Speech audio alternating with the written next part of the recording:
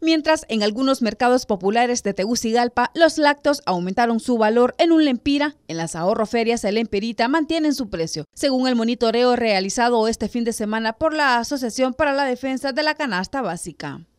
El queso seco en la feria, en el, mercado Zonal Belén, subió a un lempira de 51 a 52, lo mismo el queso frijolero de 51 a 52. El quesillo subió de 38 a 39 lempiras y el queso fresco subió de 39 a 40 lempiras la libra. Son cuatro productos que ya incrementaron. El litro de leche, que en las pulperías está a 23, 24 lempiras y en las otras eh, ferias está a 20 lempiras, en estas ahorroferias las estamos encontrando a 19 lempiras. Con el queso semiseco le cuesta 50, el fresco 38, tenemos el con chile a 40, quesillo de jugo a 37, quesillo crema 41 y está la mantequilla crema 26.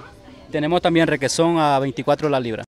Además, el costo de las frutas, verduras y otros productos básicos como los frijoles y el maíz que se comercializan en los 12 establecimientos El Empirita a nivel nacional también se mantienen estables. En las ahorroferias el Empirita estamos comprobando, por ejemplo, que Lima la medida de frijoles la tiene a 50 lempiras, la medida de maíz, que en las demás plazas está a 20 lempiras, la tiene a 16 lempiras, la libra de carne, que en las demás plazas está a 65, a 68 lempiras, en estas ahorroferias las estamos encontrando a 60 lempiras. Está bueno porque las cosas que dan barato lo dan bueno.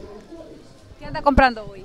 Ando comprando chile, cebolla, eh, papa. Ando comprando tomates, papas, guineo, frijolitos, elotes, yuca. No, está bien. En el marco del Día Mundial de los Derechos del Consumidor, que se conmemora cada 15 de marzo, y ante la especulación, estos modelos de plazas comerciales reafirman su papel de actuar como referente de calidad y precios. Jessica Urbina, Televisión Nacional de Honduras.